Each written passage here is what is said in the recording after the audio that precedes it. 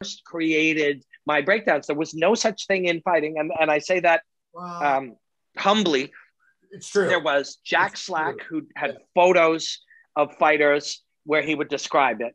And mm-hmm. there was one or two things that had kind of existed around the same time. A guy was called BJJ Scout, and my friend Lawrence Kenshin, who also used photos. But I just started taking stuff and then drawing, having an editor draw stuff on it and doing these breakdowns. They, it was 2012. And maybe somebody can go and Google fight breakdown, find, you know, one of mine from 2011 or 2012. And maybe there's one in 2010, but I never saw it. Oh, wow. uh, I never saw it. There was no such thing. Uh, it existed in other oh, back sports. Then, I mean, you, yeah. I mean, to yeah. my consciousness, you yeah. were the one that brought it onto the zeitgeist. I mean, yeah. Sure. Uh, uh, Dan and and um, and John, the Dan Hardy and John Gooden, uh, they came in within about two years mm-hmm. of me doing it, and then many others did. Maybe there was somebody else. Like I'm, I'm not saying I was the only one, but at the time, I'd never seen it. So sure. we created that there with the team there, and then it became so. Once that that it literally overnight. I was on. My wife was traveling. She's a musical theater. We were in San Diego. I woke up in the morning and some of my best friends were texting me, "Bro, I got fired. It's been great working with you." And my fr- one friend did that, and I was like, "Oh my god, John's been fired." And then two others did. Mm-hmm. And then I'm like, "Wait a second, am I fired?" Yeah. And uh, and I said to my wife, "I'm like, fuck, they're like they're laying off people at Fight Network." And I texted one of the executives, and I was like, hey man, am I okay? And he was like, call me. I was like, ah, oh, fuck. Oh, no. So they shut down the entire department that created martial arts content, fighting MMA content. The whole department was gone mm-hmm. overnight. And I was like, what am, and by this point I'd made um, breakdowns now for the UFC. I'd made, you know, a couple hundred, hundreds anyways. Mm-hmm. And to do them, I had one editor that I, that I had. I didn't know how to add. Never edited anything in my life. Never downloaded a video ever in my life. I had an editor that um, that edited sitting with me. I I'd give him time codes. He'd edit, and we'd cut it down. Then I had a graphics guy who would build zooms and arrows and, mm-hmm. and whatever. He was great and did amazing, cool things. Mm-hmm. I had a lighting guy. I had we had two cameramen. We had an editor in the studio and a producer and a sound guy. So it was like eight people in a studio. Right. And now that was gone. And this was my thing. This is what I love. Yeah. And I was like, what the fuck? So I started figuring out was there some other job I could get? Is there some other studio I could find? Is there maybe somebody who could pay to give me a studio? Because I just got to do this. Yeah. And um, and uh, there was, you know, I found I had a job in Russia here, and I had a, a, commentary job in China. Actually, it was pretty cool. And I had a few small um, uh, a company in Korea sent me out to um, make content for them. So I had work started my YouTube channel the next day, literally within yeah. within 24 hours. Right. Um, and um, and a couple months later, I was like, okay, how am I going to do this? And I bought an iPad. And within about a, and I went on and I was like, so how do I? I found a video that I wanted to break down, and I was like, how do I do this? And so I went on YouTube and I put in, how do you take a video off YouTube?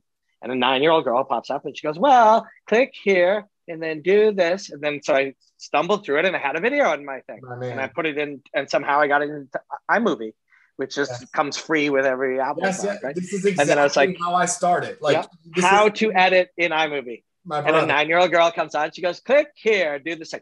So I spent like two days and then I made a breakdown by myself and I and I figured out I, I, I voiced it just like in the open air into my phone and then I put it up on Instagram wow. and I had like 4,000 followers or whatever which I'd earned and I had some great good fortune because when I worked at Fight Network like Joe Rogan had me on his podcast yeah, yeah, yeah. he's been super like he has done more for me than like any human has any right to ask of any friend um, so I had a few people who were aware of me through that thing but I mm-hmm. made one and and suddenly that book the one thing hit me what one thing you know, um, uh, by doing it will make all other things less important or however it was. And I was like, just make these fucking things. Just make these things. This is your thing. You love doing this. this. is what you wanted to do. You figured out how to do it.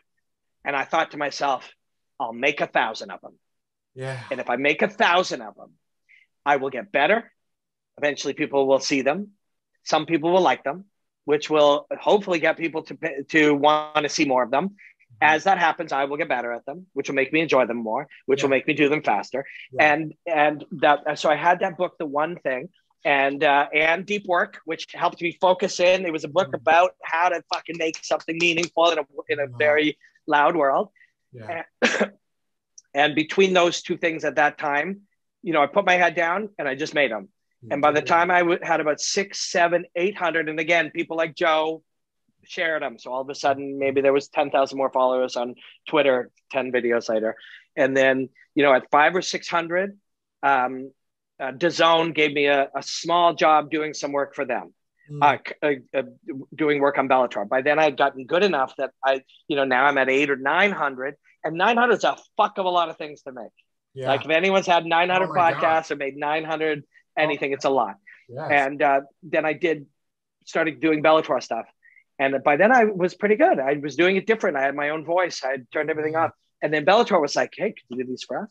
I'm like, "Sure." And then it just, you know, but really, it took about two and a half years of z- zeroing in on that one thing. That such by doing it, it rendered all other things less important. So I I did far less podcasts. I was doing podcasts on my YouTube channel, which I still love doing, but two hours of podcasts and posting it and working with like I could make two breakdowns or improve one breakdown or like z- spend an hour trying to get better at just how to draw with draw with the thing or how to do sound or whatever. So I z- zoomed zeroed in on that to mm-hmm. such a degree and then I made two minute ones, one minute ones, 15 second ones, five minute ones and I just kept doing it and it forced me to get better and it forced me I would look at it and go well, you could do this one kind of like the last one, but say kick instead of punch, or you could be like what did you learn different?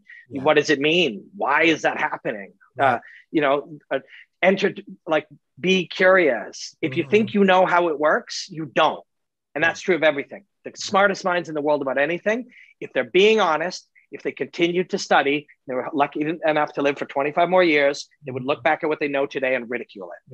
So what you know today is ridiculous. So so continue to elevate your knowledge. And so I just kept doing that. But that book, that book at that time uh, was a big important thing